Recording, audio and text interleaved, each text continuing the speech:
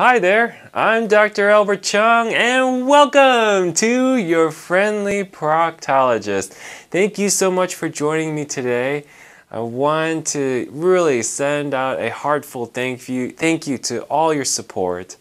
If you have not subscribed already, please click that red subscribe button and ring the bell and also give the video a like. It greatly helps to help this video reach more people so that we can all learn about our bottom ends and not be afraid anymore. Today's topic is a little bit different than the bottom end talks I usually do, but it is a topic I am passionate about, which is insurance. And no, I'm not selling insurance to you. I want to educate you on some of the insider tips that you may not be aware of. And so this is something that can arm you with information so that you can participate in discussions and be a little bit more in charge of what goes on behind the scenes with your health care. All right, so really there are two major tips here that I want to present to you and they could potentially save you a lot of money. So first of all, it's regarding colonoscopies and in particular the screening colonoscopy. And a screening colonoscopy is really two parts there. A colonoscopy by itself is that procedure where they look inside your bottom end, look inside your entire colon for polyps or cancer, right? Because at age 45, people in the US of A should start getting colonoscopies to prevent this disease. Okay. What about the screening part? The screening part puts a little qualifier on the colonoscopy. It changes the conditions a little bit, meaning the screening colonoscopy is for people who do not have any symptoms or signs or hints of colon cancer in their body, right? So it's really a healthy, average risk person for colon cancer that would receive a screening colonoscopy. And the situation at doctor's office most often goes, you know, they're there for their annual checkup. The doctor will say, Sir, look at that. Happy birthday. You're 45 years old. You're healthy, you work out, you don't have any medical conditions, you don't have any belly pain, you don't have any bleeding from your bottom end or anything like that. But guess what? Congratulations, you're also due for your first colonoscopy. And that is the scenario I'm talking about for screening colonoscopy. Okay, so what's the secret number one? What's the insider tip? The insider tip number one is we, if you are receiving a screening colonoscopy or you fit into that group that qualifies for a screening colonoscopy, pretty much nearly all healthcare insurance providers cover this at no cost to you or at very minimal cost, if anything, okay? So, how does, how does that qualify? Is that an automatic thing? I mean, the doctor just says, you're due for a screening colonoscopy, and then you just go get it done and you just walk out without having to pay anything? I mean, what what is going on behind the scenes and how do you ensure that you're not going to have to pay for anything? Let me tell you how.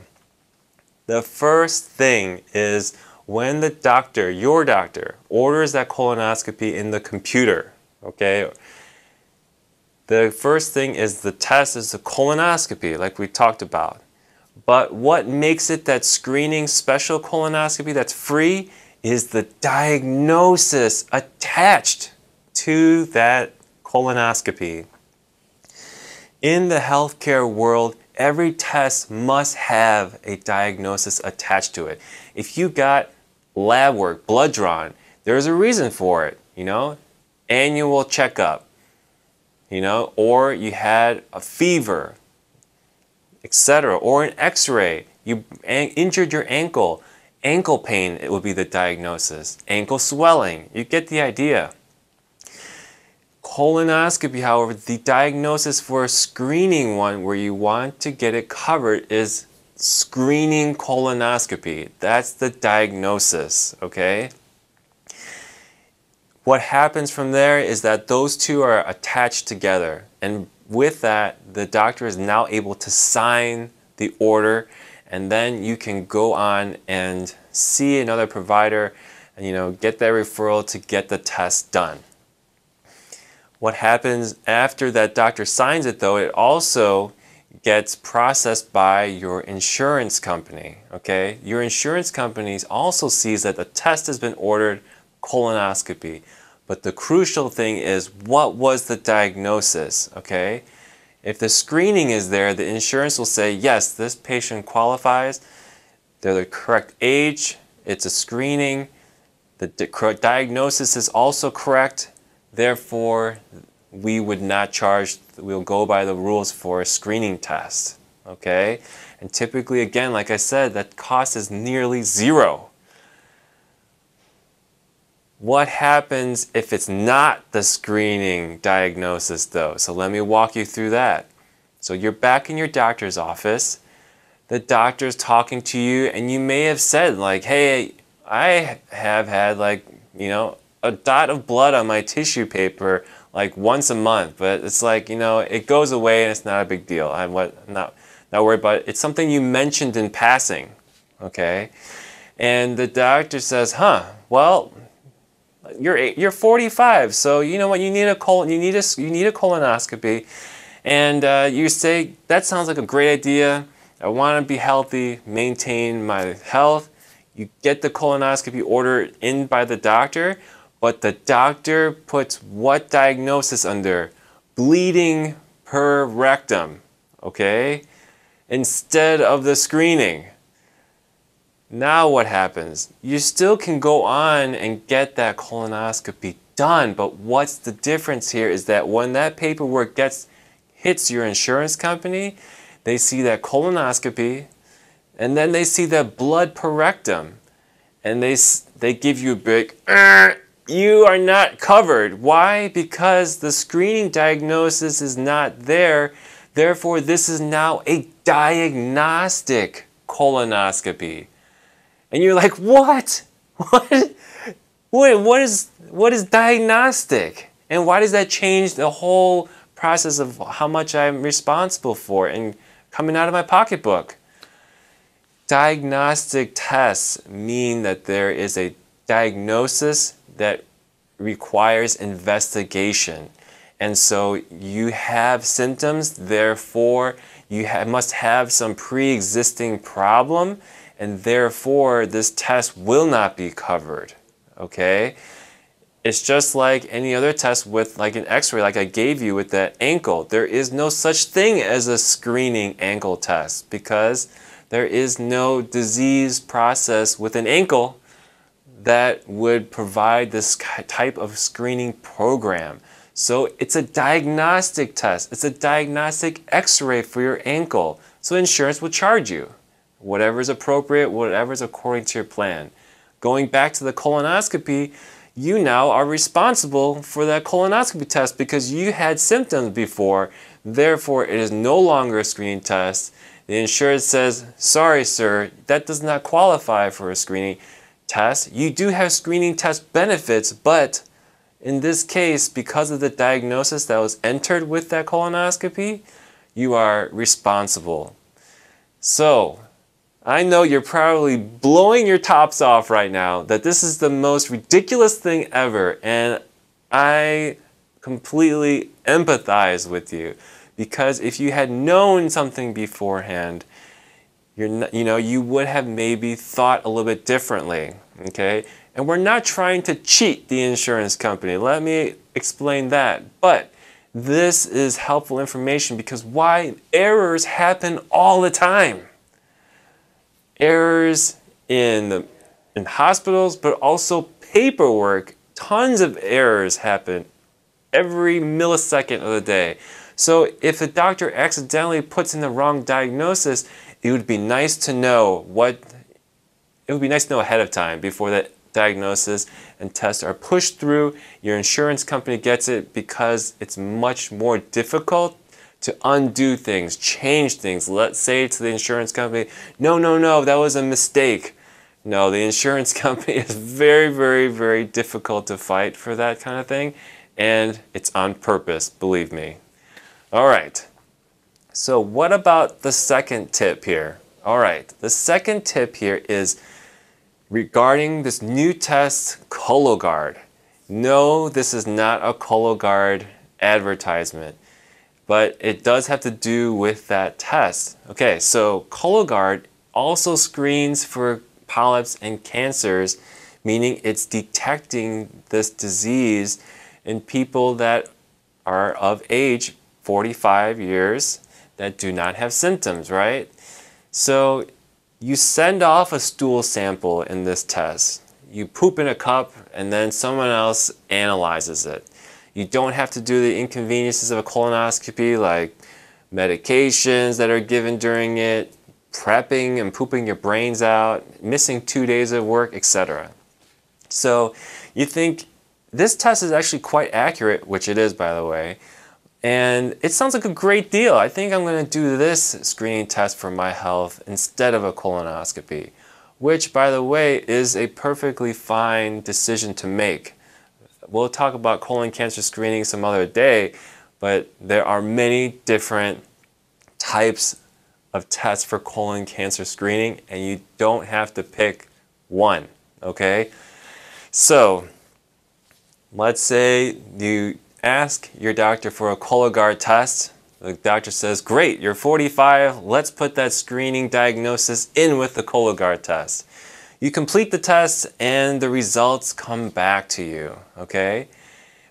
In the cases where the Cologuard says negative, no suspicion for colon cancer or polyps, perfect. You get the test covered by insurance, typically you don't have to pay anything. Awesome, right? But what about the other situation?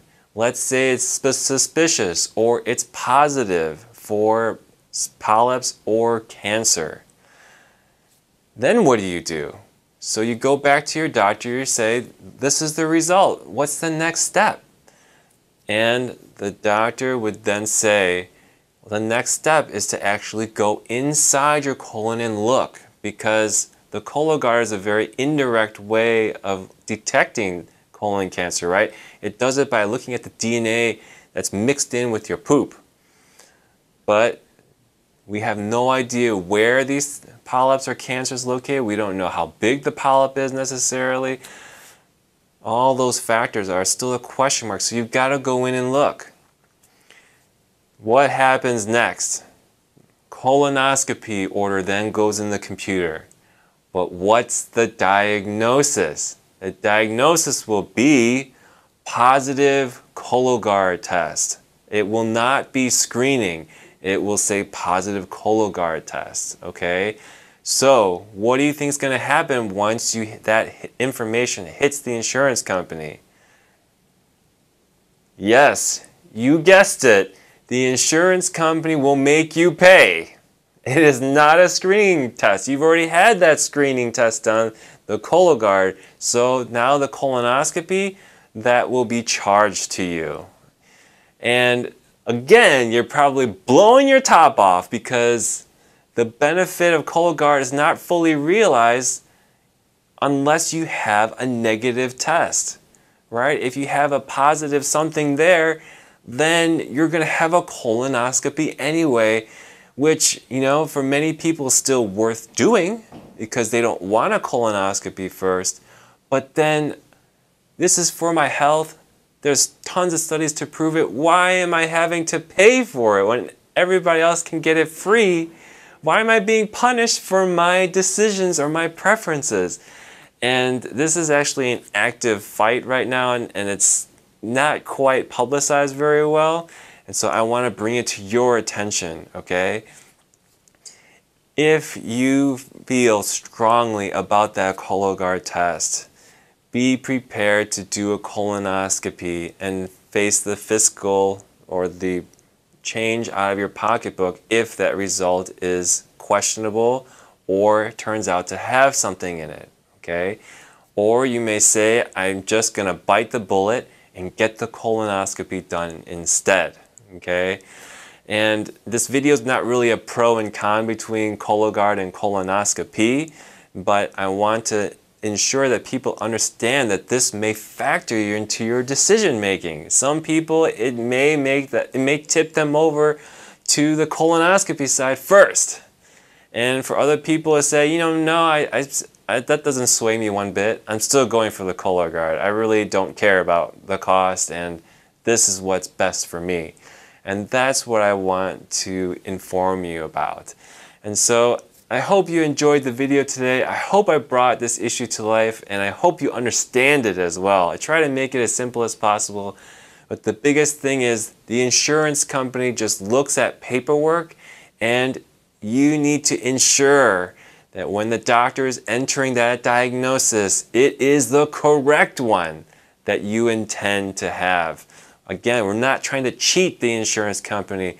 But at the same time, we are educated and smart people, so we know what we need done, right? We're, we are directing our care and we know what is going on with our health physically and how it's being paid for. All right.